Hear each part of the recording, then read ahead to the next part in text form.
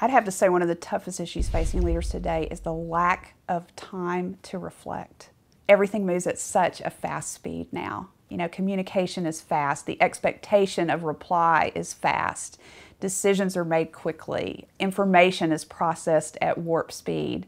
And I, I, think in the process of doing and, and you know going into the world and doing what those leaders are made to do, everything about our culture feeds speed.